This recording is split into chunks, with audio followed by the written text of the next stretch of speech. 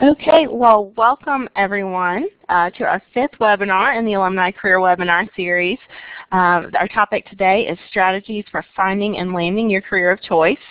My name is Catherine Tuttle and I'm the Alumni Career Services Coordinator here in the NC State Alumni Association and I am joined today by Gary Greene who is a 1990 graduate of NC State and the owner of a Raleigh-based recruiting company, Greene Resources. Greene helps companies across the country locate and hire talent critical to the success of their organizations. And Gary truly excels in building and maintaining partnerships with his clients. This ability to build and maintain quality relationships has been instrumental in his professional life, but it also carries over um, some to, to some other areas as well. Um, Gary is very involved in the community, serving on the YMCA Advisory Committee, as well as on the board of the Raleigh Chamber and the Wake Education Partnership.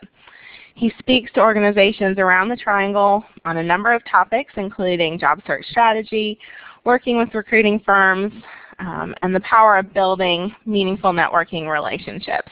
And this community focus and involvement has contributed to his company becoming one of the 50 fastest growing privately owned companies in the Triangle. Gary is a dynamic speaker and a friend uh, to the Alumni Association, so we are thrilled to have him here with us today. Um, before we begin, I want to cover a, a, a couple of quick housekeeping items.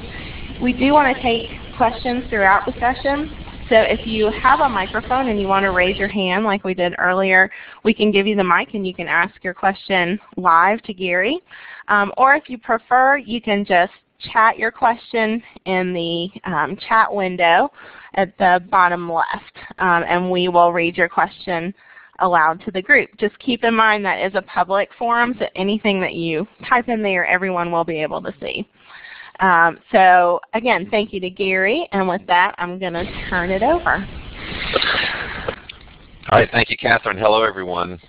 Uh, Catherine, thank you so much for the introduction and inviting me to spend time with so many other NCSU alumni today. It really is an honor for me to speak with you. Our topic today, as you heard from Catherine, is strategies for finding and landing your career of choice. Some of you on the call today may be in a career already and looking for your next challenge. Some of you, unfortunately, may be out of work and struggling to land that next career. And some of you might be on the call to gather information to share with others. Whatever the reason, it's critical for me that each of you get value out of our time. And in order to do that, I'd like to start out first with setting some expectations. First, what I have to share is fairly simple. In fact, most of what we discussed today, you've probably heard before or thought of before. But the real question is, are you using what you learned the first time you heard it? And if so, have you gotten creative with it? And if not, just look at this as maybe a kick in the pants to get started. And second, what I have to share is not easy. And searching for a job is not fun. It requires work, preparation, creativity, diving deep into your network, or building your network and treating your job search as a full-time job in and of itself. Some of you have been searching for a long time now and are beyond discouraged with the process and the results. It's an extremely competitive market for jobs.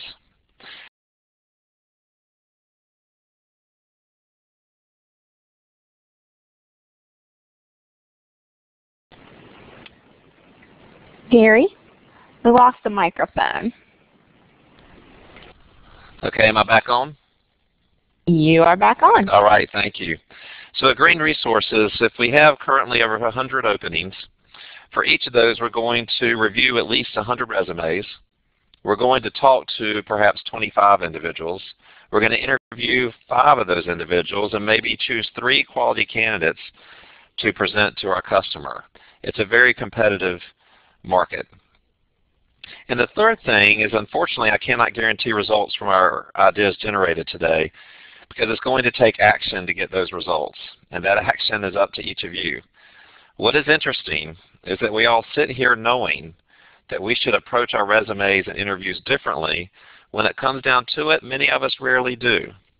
But I can tell you that just picking up a pen and writing, not typing, but writing a quick thank you note will set you apart from 90% of your competition for that next job. So what should we get out of our time together? Well, ideally, we all land that career of choice. That would be great. At the very least, we have a renewed enthusiasm that pushes us to take action. We gain some fresh ideas. And lastly, we get greater success out of our efforts. There's a story that I love of Sherlock Holmes and his faithful assistant Watson. They were on a camping expedition. And after a bite to eat around the fire, they settled into their tents for the night. Several hours later, Holmes startled his sleeping friend. Watson, Watson, wake up at once and tell me what you see. Watson rubbed his eyes, looked at the night sky, and said, stars. I see billions and billions of stars. Holmes replied, yeah, yeah, but what does that tell you? Billions of stars signal the potential existence of millions of planets. Watson yawned. The, the position of the moon tells me it's about 3 a.m. Yeah, yeah, yeah, but what else? Holmes questioned. I'm tired, Watson whined. What does it tell you? Well, after a brief pause, Holmes replied, Watson, old boy, it tells me that somebody has stolen our tents. Now, what does this have to do with our topic today?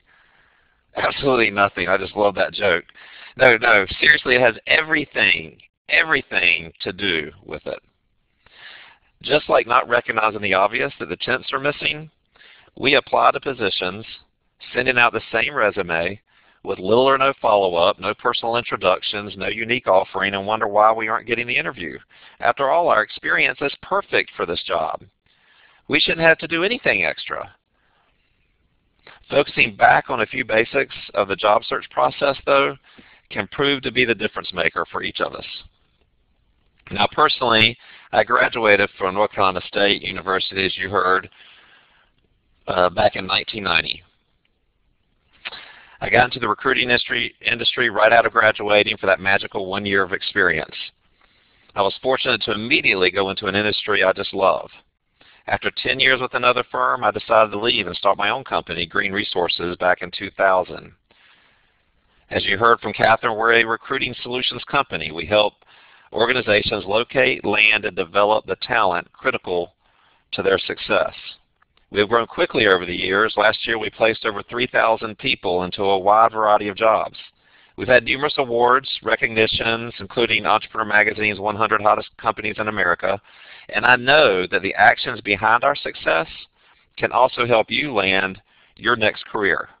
In fact, what I'm sharing with you today are almost the exact steps we take to land our customers at Greene Resources. So what are those steps? First, we're going to talk about identifying your gifts. Then developing a target list. Identifying and researching target companies. Using your network to make contact with the employer. Preparing for that interview. And then how to follow up. I want to start first start with identifying your gifts. Yesterday I visited Indeed.com. You'll see their website in the bottom left of the screen. Indeed is a website that does a great job of pulling in most of the online job postings regardless of their location or their job board. In the past two weeks alone, there have been 5,530 job postings within 25 miles of NC State University. 5,530. I also visited volunteermatch.com. That's the website in the bottom right of your screen. Volunteer Match does a great job of helping individuals locate volunteer opportunities by using keywords and a defined radius to a given location. There are 424 volunteer opportunities currently within a 20-mile radius of NC State. Now what I couldn't believe is that in all of those job postings and volunteer opportunities, almost 6,000 of them, none of them even included the word Wolfpack. But that's beside the point. The point is this, there are a lot of opportunities. Just because there are a lot of opportunities, it doesn't mean you should apply to all of them. I regularly, regularly talk to people who claim they're doing everything they can because they apply to 50 plus, 20 plus positions per week. To create better success, take the time to first identify your gifts. Now to do this, there's going to be three questions I'd like for you to answer and take some time doing this. You'll get out a sheet of paper and you'll create three columns. And at the top of each column will be one of these questions. What do I like to do well? Or what do I like to do? What do I do well? And what do I want to learn and keep on learning? You'll then list your answers, being as specific and creative as you can. As you create the list, begin to think more in terms of why an employer should hire you. The key here is to know or be able to imagine what a potential employer needs in regards to your skill sets. Now once you've taken the time to identify your gifts, and it's critical to do this first, you're then going to develop a target list. I want to take you through how to do this. Indeed.com, as I mentioned earlier, is a great tool for develop, developing this list, or Google or any other search engines, but you can enter keywords from your list that you've already created, the things you like to do, the things you do well, the things you want to learn and keep on learning, and put those keywords into a search on Indeed.com, and it's going to pull out any job postings that contain those keywords in their job descriptions. What types of jobs need that skill or character trait? You're going to now start being able to create a list. These might include opportunities in industries or jobs about which you have not even previously thought. You're going to be tracking down employers who are the best match for your selling points. You must limit your search to develop a list of target employers. So you're going to first start with one industry at a time. You've done a little bit of searching, you found an industry, and so in this industry, you're going to develop a list of keywords describing that target industry in order to broaden your search through Google or other sources like I've mentioned. And as the chart on this screen shows, under the industry, I'm going to list the roles that I can play in each of in, in this specific industry. So what role I could take on within the industry, what are my strengths, abilities, experiences I bring to that role? And then lastly, the companies that have a need for that role. So once again, an industry, and because of my searching on Indeed or whatever tool you may be using, you're going to come up with a list of jobs or roles that you can play. And then because of the work you did previously and what you like to do, what you do well, and what you want to learn and keep on learning, you will put a list of your strengths, abilities, experiences, and so forth together. And once you have that, only then is when you start uh, reaching out to locate companies that have that specific need. You're going to outline the quantifiable impact you can make performing these jobs at these companies. What are your measurable accomplishments? In essence, you're going to create a case study of why you are the best applicant for such a position. And it's okay to have multiple positions, but it's going to be a different case study for each of those positions and why you are the best applicant for that. So in the end, you're defining the perfect job, the perfect type of industry and company, the perfect location. For example, I want to be an events coordinator for a Chamber of Commerce in the Triangle. Very specific. I want to be a mechanical engineer at a scientific instrumentation company specializing in gas chromatography. By being this specific, you're going to be able to locate the companies that have that need and start uh, strategically finding a way to get introduced into those companies. I want to be an online researcher for a law firm specializing in patents and trademarks. I want to be a basketball official in the Atlantic Coast Conference. Okay, maybe not that one. So in identifying uh, and researching the target companies, you've developed your target list. It's now uh, time to identify the companies that have a need for your skills. Which employers match your focus? You're going to list their name, location, industry, any information you can find about the company.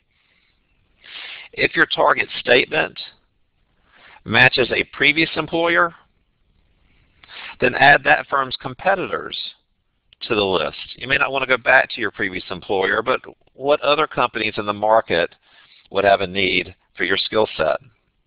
You're going to research the target industry to add more companies to that list. And there are a number of resources that can help you do this.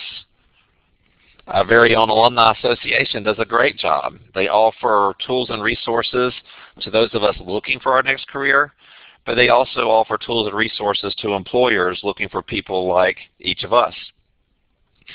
And uh, turning to them, now that you know exactly what you're looking for, they will likely have some ideas of companies that have that specific need.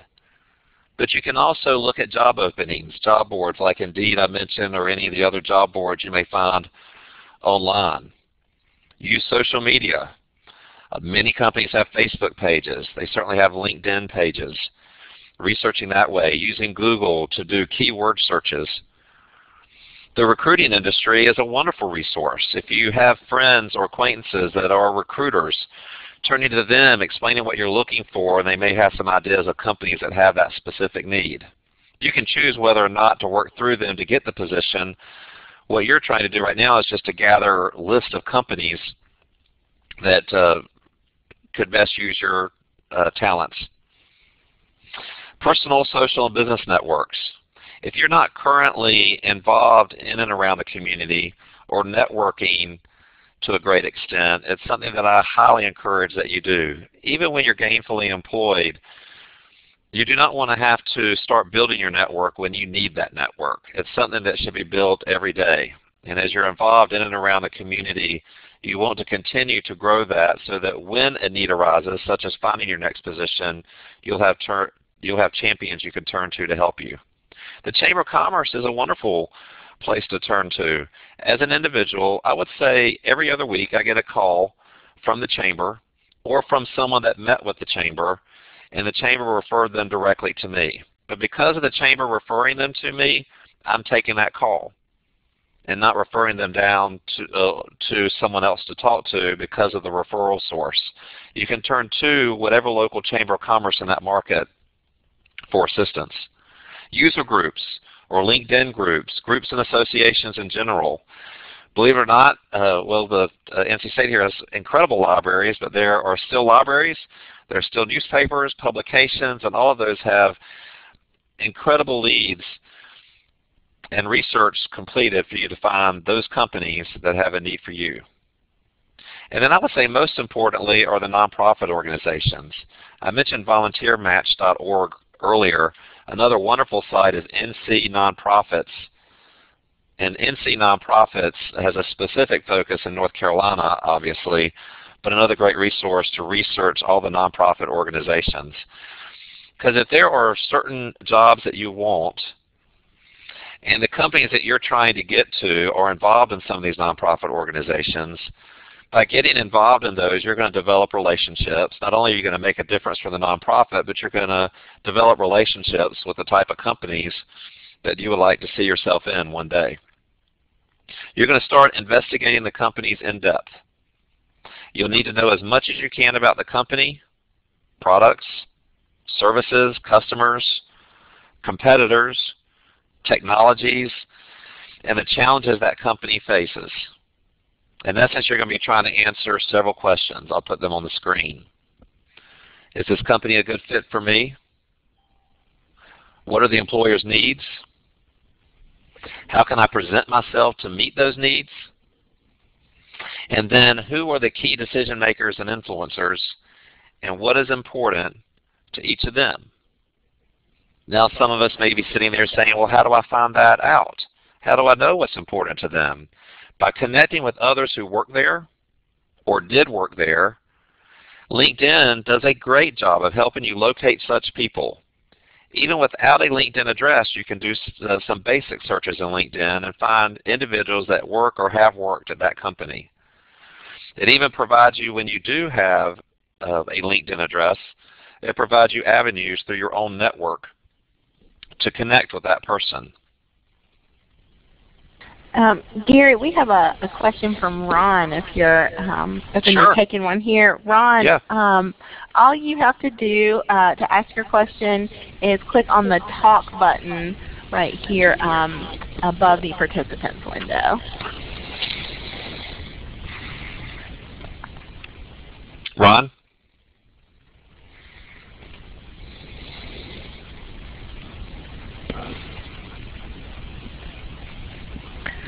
Ron, if you have a microphone, um, you just click on talk. Oh, okay, Ron, okay. I hit it by mistake. No problem. no problem. If people do have questions, uh, do feel free to type them in or or um, again raise your hand like Ron just did. Um, Gary, I want to just reiterate something you, you said earlier about being specific. I think a lot of times people um, mistakenly err on the side of being too general. They don't. They feel like if they're too specific, they're going to um, kind of you know exclude themselves from certain opportunities. But but the fact of the matter is, in the networking process, and I'm sure you can speak to this, you know, the more specific you are about what you do well and how you can add value and what companies you're looking at, the more likely it is that, that your contacts um, and the resources that you mentioned are going to be able to help you. People are just simply uh, too busy and too stretched for time to you know, invest the time and energy required to kind of be the person to think all that through for you.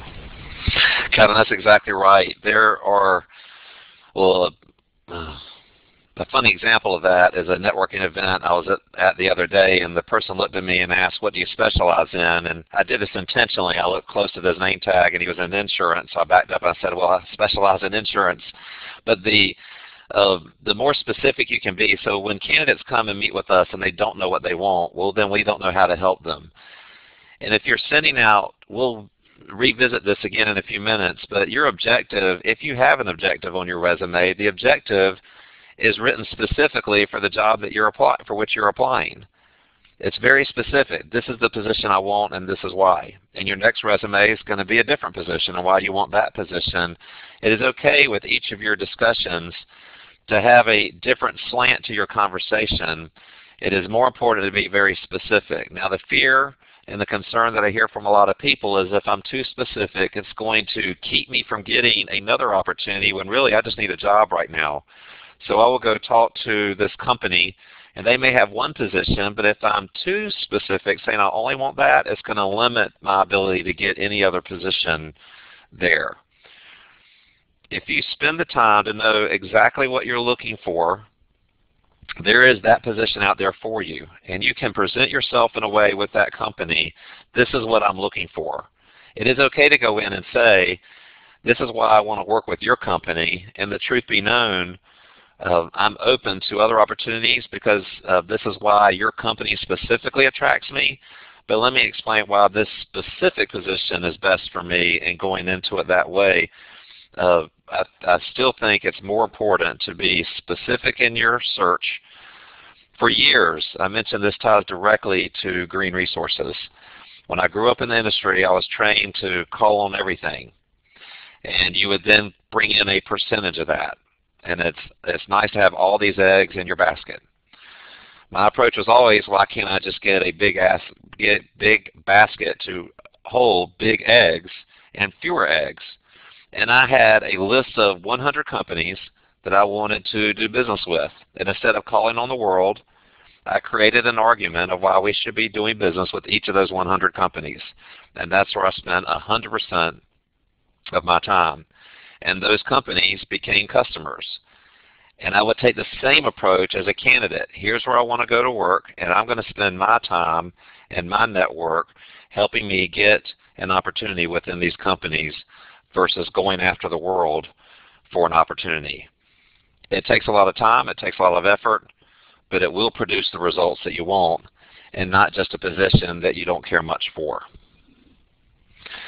I want to talk a little bit more about that by getting into how you use your network to make contact with the employer. Using your network. Years ago, I learned from a person who hired me into the recruiting industry that the easiest way to get an appointment, or in this case an interview, is to get somebody else to schedule it for you. I would say that 80% of the appointments I get with companies I did not schedule myself.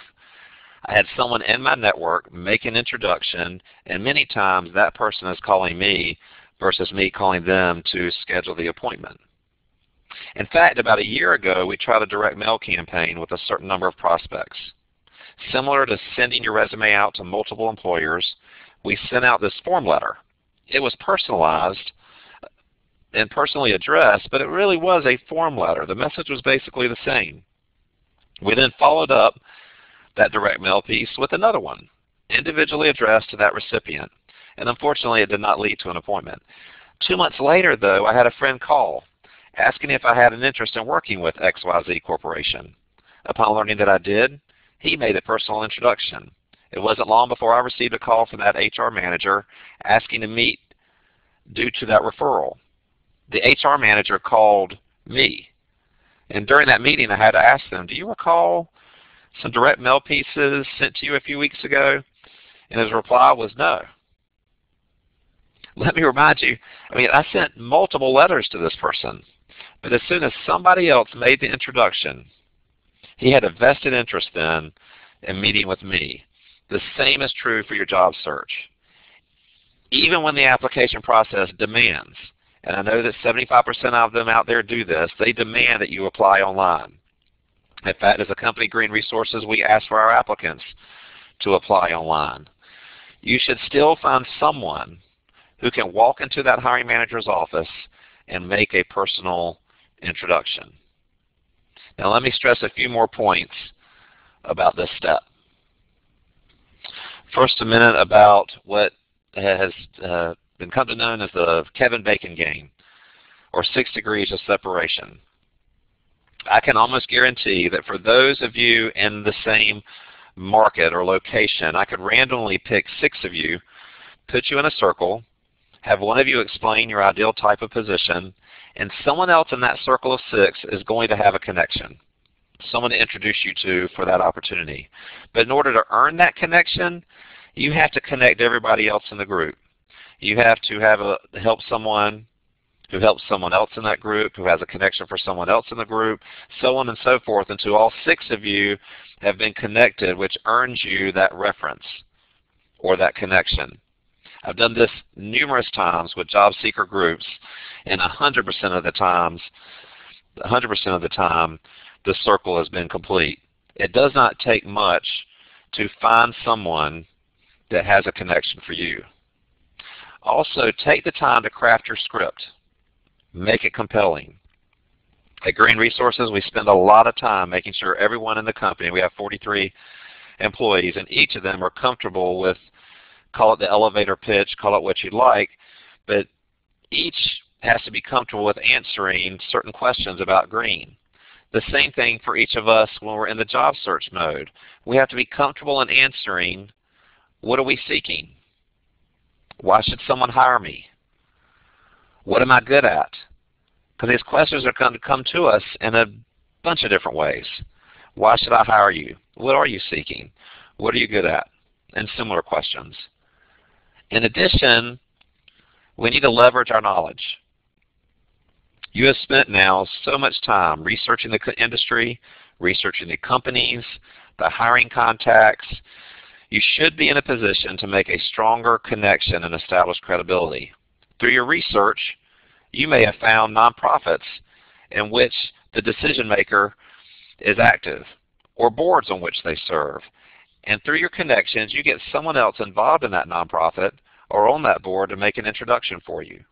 You may have read an article recently in which someone in the company for which you want to work was quoted.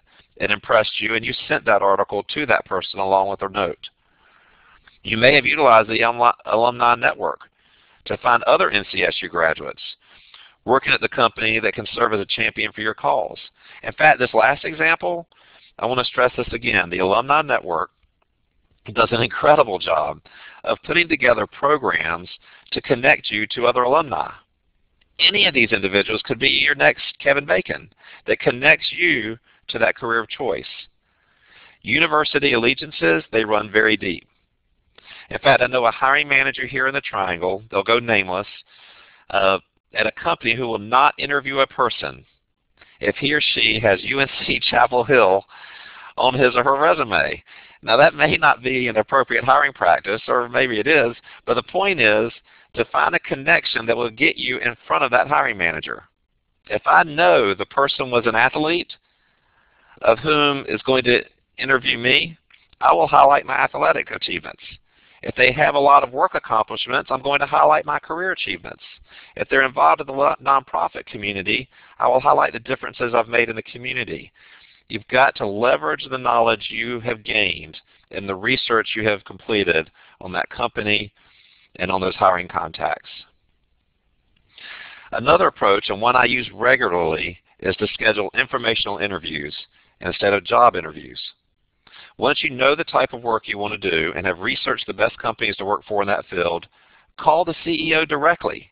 Explain what you have learned about his or her business and that you have an interest in the industry and would like to spend 30 minutes with him or her getting to know their story. If given this opportunity, then always be ready with questions. At the end of the meeting or if the meeting is declined, ask is there somebody else that he or she thinks you should speak with. Regularly, I will have candidates call me and ask to be interviewed for an opening. Now for those, I send them along to the appropriate recruiter. But get this, I will also have someone call directly and say, I'm interested in the recruiting industry, and through my research have become very impressed with Greene Resources. I would appreciate 20 minutes of your time, preferably in person, but I'll take it over the phone. I know recruiting is the industry for me, and I would appreciate some advice from what I consider to be one of the best companies in the industry. Now that type of call I personally take and spend time with that person. Informational interviews can go a long way. I want to move now, unless there's questions, to preparing for the interview. And we're going to spend a little bit of time in this area. Uh, Gary, we don't have a question, but as it, I wanted to kind of pipe in one more time. Um, sure about the previous slide in terms of um, finding connections and utilizing the network. Yes. Um, I just wanted to reiterate um, your mention of LinkedIn earlier. It is an incredible resource um, for people who are looking to make connections um, within certain companies and um, industries and with state grads. I think um, people don't utilize it as much as they should. Um, we actually did two whole webinars on it previously. Um, so if, if, people need more information, that's a great source. But I've had people have tremendous success thoughtfully reaching out to other alumni on LinkedIn. Um, you know, when they're on that site, they're saying, I'm open to connecting with people. So um, take advantage of that. Thank you for reiterating it. It is extremely important. And if you do not have a LinkedIn account, uh, please do so today so that you can start making those connections. And again, alumni do want to help, and, and don't be afraid to use that connection when making your connections. Let's talk about preparing. Uh, you've landed the interview. Uh, someone has made an introduction for you. You have a chance to sit down, whether it's the informational session or it's an actual interview. How do we prepare for it? First, just as you've done already, you've got to research the company and the organization in depth. Personally, I use LinkedIn, Google, Facebook, the company's website, if they're blogging, tweeting, I look at press releases, executive bios, the company history, any fact sheets that they put out there. I contact people who work there or used to work there or supply goods and services to that company. It's important to find out the decision-making chain if at all possible. Yes, I'm interviewing this person, but who else is going to be involved in the process? From the uh, job description, can we decipher what is most important in a candidate? And if not, is there someone that we can talk to who can provide such information? I regularly have people who are coming to interview with me who beforehand contact other people in the company to ask them what is the most important to me in a candidate. I think that's wonderful. Even though that person is still coming to tell me they did that, it shows me they're doing their homework and it stands out. Now secondly, you have to identify what you have to sell. We did this earlier. What are our top three skills or experiences that we have to offer this employer that other applicants can't? And spend a lot of time thinking about that and being uh, and have that with you when you go to the interview, being ready to talk about it. Go ahead and prepare examples of your work. Anyone can make claims in job interviews. Far fewer people back up those claims with evidence. Consider developing a career portfolio, or what I love, a 90-day plan and using it as a presentation during the interview. What a differentiator it would be to say, I've spent a lot of time thinking about this position and what it will take to be successful. If you don't mind, I would like to share with you my 90-day plan if I'm given the opportunity to work with you. Then go on to describe what you will do and accomplish in the first 90 days. Your competitors for that position aren't doing it, and you're going to stand out. Now be very careful with your social sites. It's the way uh, everyone's on them. Uh, it goes back and forth.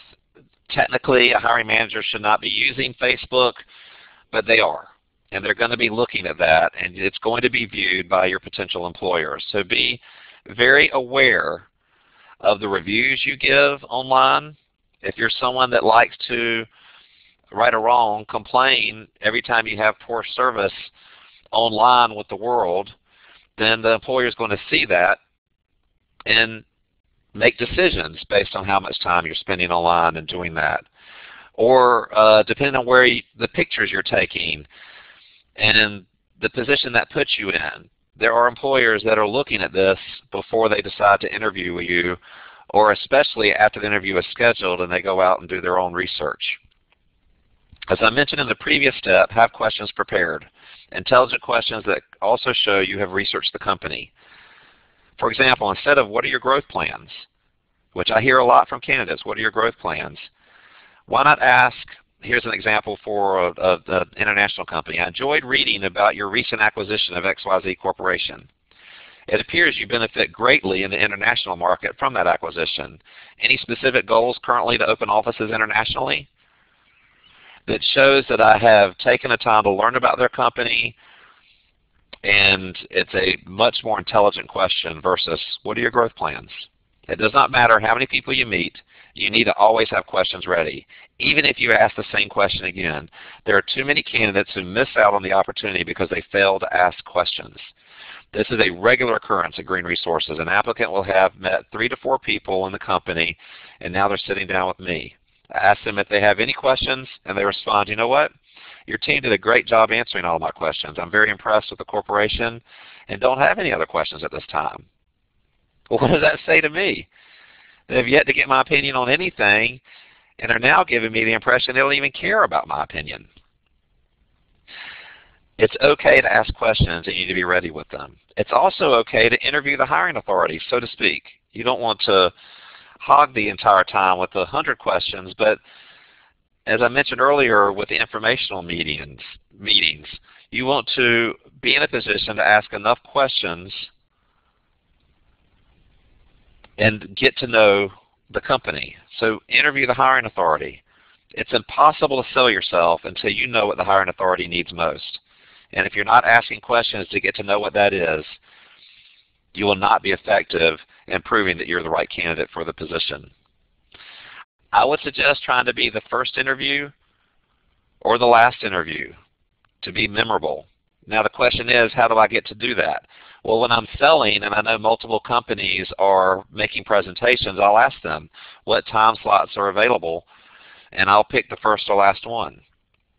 If I don't have um, any connections that's going to help me, I'd rather probably be the last one because hopefully through my research people can tell me how the other candidates have done before I go in on the interview. The worst case scenario you're not able to find out, but it's at least worth trying and getting yourself in a position to become memorable. Always arrive early. I would say 10 to 15 minutes. Beyond 15 minutes is probably too much. Anything less than uh, 10 is, is you're going to be pushing it. Make sure you know how to pronounce the person's name. And when I get to a meeting, I'm always asking the person at the front desk, that director of first impressions, how to pronounce it or called ahead of time more often than not. It's okay to small talk and learn more from the receptionist. I can tell you that a lot of clients, including us, we're going to go and ask the director of first impressions what the experience was like with that candidate, and that will be part of our decision on whether or not we hire that person. Remember that you're selling yourself first before you can sell your skills. Walk in, off, walk in the office, head up, back straight, face smiling, attitude energetic, animated. Look the person in the eye, shake their hand firmly, make sure your car is clean because sometimes the hiring authority is going to walk with you back to your car. And the only reason is because they want to see how you keep your car. It happens. Be, be ready for these things. When you walk in, always go for the chair. Do not take the couch. Especially in the lobby. You will not be able to get out of that to be ready to shake the person's hand, and it's just awkward. And on the same lines, I would recommend uh, taking care of your thirst before you go on the interview and not accept the water or coffee. You have your notebook, they need to shake your hand, now you have water or coffee, and worst case scenario it ends up all over their office, but it is just awkward and you want to remain hands-free other than your portfolio and be prepared to greet every person to whom you're introduced. I mentioned being ready with compelling questions. Being ready with those questions, uh, and it's okay to ask, answer the, um, if you could hire, for example, here's a question. If you could hire, what position, what position would be first and why? So you have a lot of uh, positions open. Which of these positions would you like to take care of first? Or if you wouldn't mind taking a minute describing to me, this is one that's asked to me a lot. I think it's a great question. Describe to me the perfect candidate. It's going to put you in a better position to respond to that need. Also take copious notes. People say it doesn't look good to take notes. At a restaurant, I do not like it when someone memorizes my order. I'd rather see them write it down. Same is true in the hiring process. People want to see that you're writing down what they say and that it's important. When the job is described, pay close attention giving nonverbal feedback. Be aware of yours and their nonverbal feedback. Are you sitting upright, leaning forward slightly, nodding your head, giving eye contact? When you're talking, are they giving the signal that you're talking too much or that they're bored? You've got to pay attention to those things. Be wary, be very careful of talking too much. Answer the question being asked and be careful not to ramble. Always have multiple copies of your resume and make sure the resume is written to that specific job.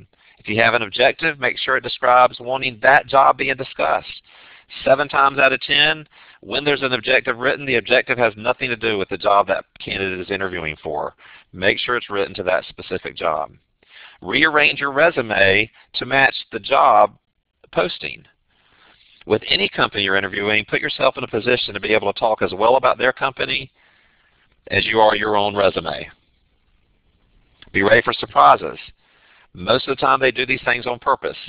They're going to send someone else in the room. They're going to tell you you can't meet with someone, that someone else is going to have to interview. It's going to be at a different location. A lot of times it's on purpose to see how you react to those situations. Now sometimes it, it's just it just happens, but you need to be ready for those surprises. Get plenty of rest the night before. Plan your attire ahead of time. You're going to make a mistake. We all do. Be at peace with that your interview is not going to go perfectly. So don't let the rest of your interview get sidetracked because of one mistake earlier on. And you need to develop your close. Successful salespeople know how to effectively close meetings. You need to do the same as a candidate. Once the interview is over and you're walking down the hall, that's not the time to close. You've done it in the room, you're heading out, and be careful not to continue the interview as you walk out the door.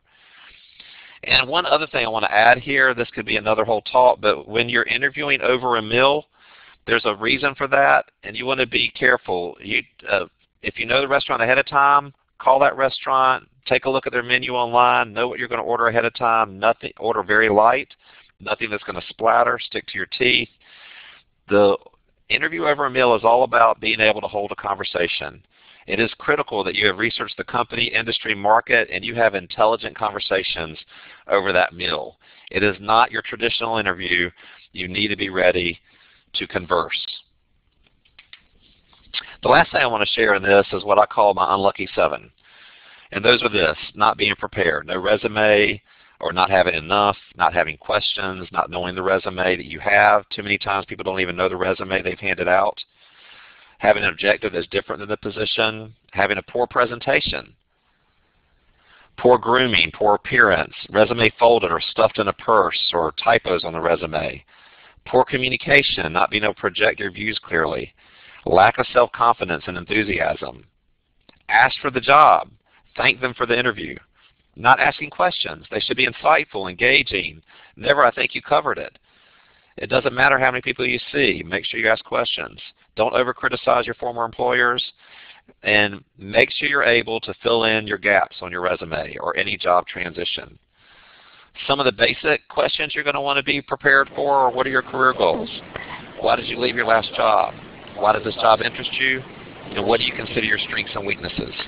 Gary. Yes. We have a question from Frank. Um, he's wondering what you recommend carrying the resume in for an interview.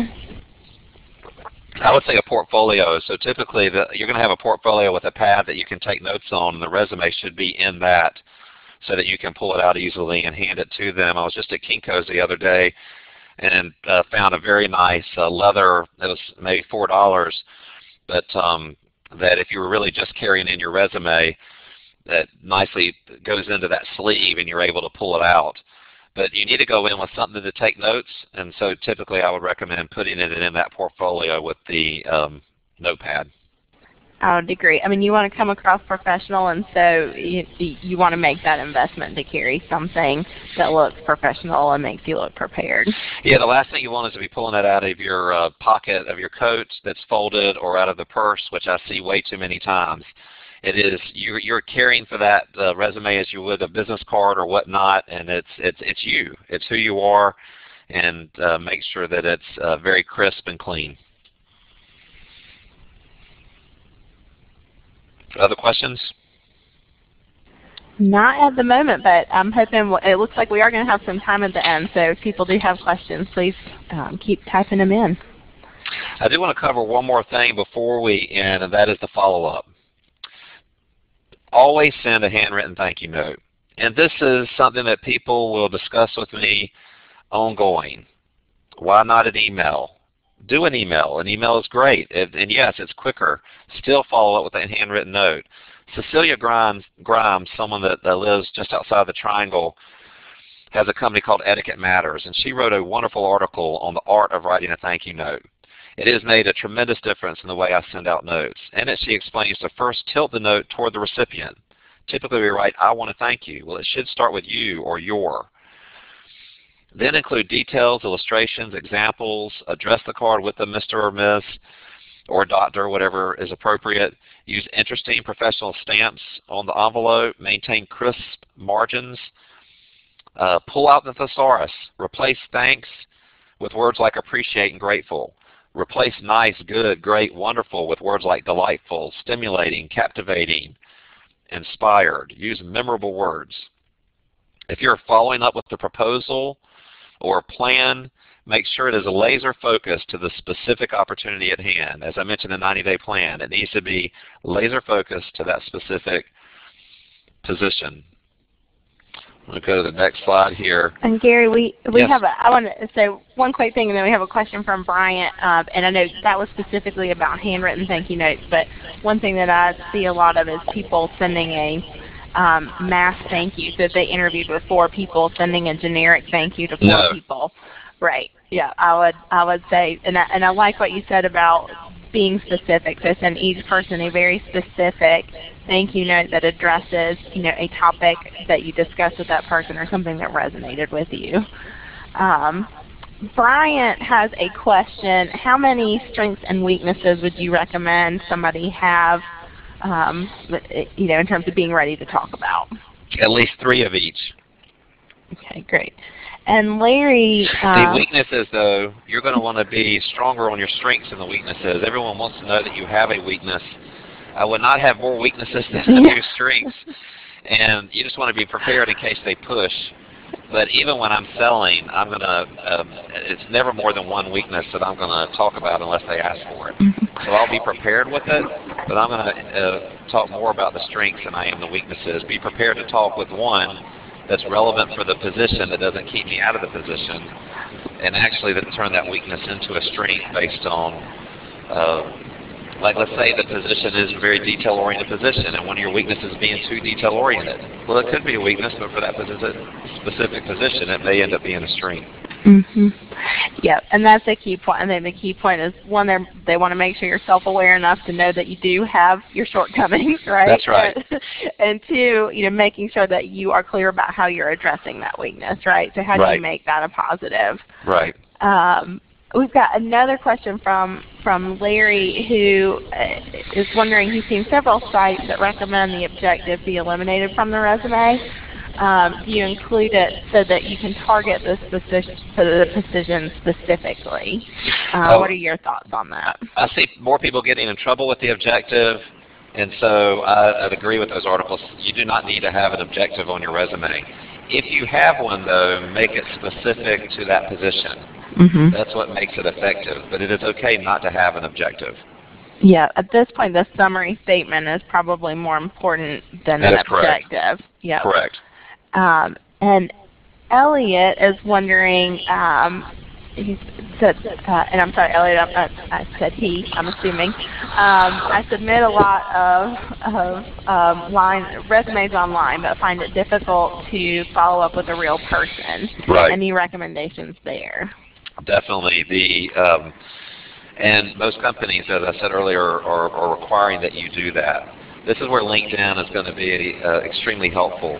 You need to find someone who knows someone that maybe even knows someone that works at that company that can help uh, at least get your resume noticed or give you feedback about that position. And it takes work in your network. It is, a, as I said at the beginning, a full-time job in the search. And I would spend a lot of time finding several resources within that company or, or a vendor to that company that can help make sure my resume gets seen. So even if I'm presenting proposals to a company, I want someone else in that company to go to that decision maker and say, listen, uh, you need to see this person. Regularly, we have candidates that know we work with a certain company. Let's take SAS Institute, for example. And because of us working there and they see a full-time job, they'll call and say, can you at least introduce me? I've applied for the position. We have a vested interest in helping everyone, so we will go. We're not trying to make a placement. We're just going to the hiring authorities to say, here's a resume that you should at least take a look at. Because if you don't, no matter how good the resume is, there's 300 other resumes sitting there. So you have to work your network to find someone that can help make that introduction and at least give you feedback as to other things you should do to get the position. Yeah, and I think that speaks to kind of what we've been talking about this whole time in terms of being proactive, being specific, knowing Yes. who you want to reach out to, what companies you're targeting, because uh, you know just applying online and then putting all this time in to find people if you're not really sure why the position or why the company you know isn't going to do you any good. So it really is about taking the time on the front end to decide what you want to do, why, and then and then start to look for contacts proactively. That's correct. Uh, and one more, uh, they're coming in, Gary. Um, Bob has a question. Could you elaborate and give an example of a good weakness? How would you answer that question? And again, I think the key point I- it- it- the- go ahead. Oh no, it's okay. It's going to depend on the person and what the weakness may be. So this happened. I can tell you a negative one that uh, we were hiring for a position that required detail orientation. The person said their weakness was they're not detail oriented. That simply was a person that did not look at the job description. So whatever your weaknesses are, the last thing you want to do is list a weakness that you can tell the job description is a critical part of that position. And so I would, it, it's difficult without looking at a job description, but I would use the job description to be able to come up with a weakness that actually can be viewed also as a strength. Like the example I gave um, earlier of maybe being too detail oriented, or I get very focused on a project. Um, that can be a great weakness when it is very project specific in the work. But if you have to juggle a lot of tasks, the last thing you want to do is say that you don't know how to juggle a lot of tasks by saying you get very focused at one project at a time. So it's going to depend on the on the position. Uh, So I can use very focused on one project. Uh, the one that I use, um, if I don't have one that I would rather talk about, is um, if you're asking my weakness compared to other candidates, I understand you're also looking at internal candidates for this position as well. And I haven't worked at your company. I haven't been here. But let me tell you how I've overcome that weakness. Here's my 90-day plan. and I know that I can come here and be successful. But really the weakness I think I have in a, as a perception is not being here already. Uh, but that's why I spend this amount of time getting to know your industry and your business. That would be the one I would I would use to give a specific example. That's great. That was a great example. Um, Frank has a question about, um, he says, with the increased diversity of the workplace, we have many names that are not as gender specific as Frank, Larry, and Sarah. Uh, is it worth a phone call ahead of time to find out if a named hiring official is male or female so that you can specifically address them as Mr. or Mrs.? Absolutely. Please do that. It is it is so embarrassing to have sent these letters and to get there and find out that she was a he or that he was a she. And you can just call, and even the security person at the front desk, when you have the name, can tell you whether that person's a he or a she. Great, thank you. Uh, we're at the end of the hour. I just want to show one more thing, and uh, if there's a few extra minutes uh, for questions, but anything that you're doing, Ken Blanchard put this in one of his books called Gung Ho. He called it something else. I call it the follow-up continuum. But try to take anything that you do and get less programmed, more spontaneous, less blanketed, more individual, less general, more specific, and less traditional and more unique. The better you are at doing this, the greater your success. Now speaking of non-traditional, I want to share with you uh, this uh, follow-up after receiving a rejection letter. Uh, just, Dear Mr. Connors, Thank you for your letter of February 17th. After careful consideration, I regret to inform you that I am unable to accept your refusal to offer me employment with your bank. This year I have been particularly fortunate in receiving an unusually large number of rejection letters. With such a varied and promising field of candidates, it is impossible for me to accept all refusals. Despite your company's outstanding qualifications and previous experience in rejecting applicants, I find that your rejection does not meet my needs at this time. Therefore, I will initiate employment with your firm immediately following graduation.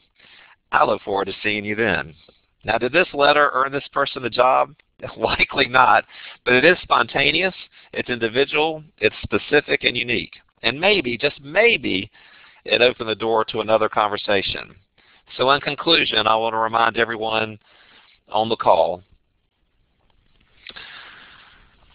we want to identify our gifts. Develop a target list of companies that can use those gifts. Research those companies and industries. Use our network to get introduced and land the interview. Be properly prepared for that interview. And follow up in a way that makes us memorable. And in the end, create the standout experience. As I said in the beginning, there are simple, these are simple steps, but oh so very hard to do. Doing them are going to increase your chances to land quickly in that career choice. Any other questions? Gary, thank you so much for, for coming in and doing this presentation for our alumni. Um, I know everybody here live with us appreciates it, and everyone who will view it afterwards um, will appreciate it.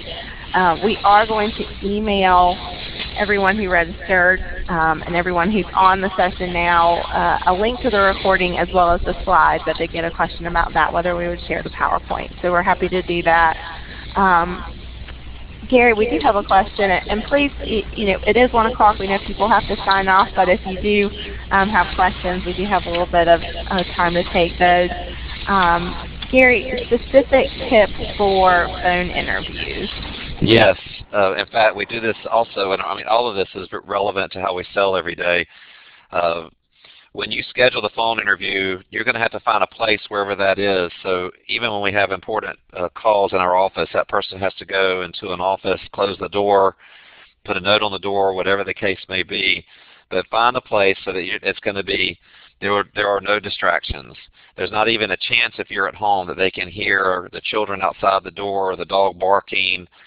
Find a way to um, so that you can have complete focus on that uh, interview it's going to be even more important that you do the research to know the people that are on the call because you're not going to be able to see them and it's very difficult to judge uh, how they're responding to how you answer questions. So when it's a phone interview, I would even stress further when they answer your question, be specific in responding to that question and be very careful about rambling because you can't get the nonverbal cues that you're speaking too much. So be focused on their answers and being ready with quality questions to engage in the conversation once given the opportunity for that. But most importantly is finding the area to be focused, researching ahead of time to know who's on the call.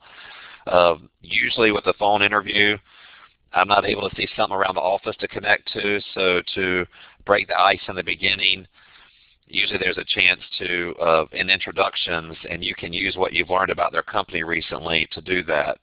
You know, I enjoyed reading your blog recently on XYZ, whatever it may be, to break the ice at the beginning of that interview to warm it up a little bit because phone interviews are the most cold of getting through, and you've got to find a way to break the ice in the beginning. That would be some of my recommendations. Yeah, and if you can, um, uh, you know, I know everybody has a cell phone these days, and few few people have landlines. But if you can find a landline to use, if you have a friend who may have an extra office that you could, you know, borrow for an hour, or um, you know, if you're a recent grad, the Career Center may have a space for you to go back and use um, you know, those types of things so you know it's a solid connection and your phone's not going to cut out in the middle of the conversation. Um, also, standing up for whatever reason actually affects um, the tone of your voice. Um, and so standing sometimes, and it, it, also helps with nerves for some people um, to stand up. And, and, one more piece on my end would be not to script um, script out answers for yourself to try to um, anticipate what they're going to ask and then come across stiff. I mean, have some bullet points in front of you and some key points that you want to remember, but don't try to read anything verbatim. Those are all great points. In whatever time frame they give to the interview, uh, recognize that. So if I'm in a meeting, like we, we went over, and it was recognized we were going over the time. If I'm in a meeting and it was 15 minutes, at the end of 15 minutes, I'll say, we're at the end of 15 minutes, and I know we only have that amount of time same thing with a call. I don't want to keep talking when I know we're out of time. I want to get permission to continue that discussion if we're at the end of that appointed time. Great. Well, Gary, thank you so much again. You're um, welcome. Uh, and again, we'll email this out to everyone. Um, we appreciate everyone that joined us live. And um, please join us in May for Gary's next webinar um, on the topic of becoming unforgettable. All right, go pack.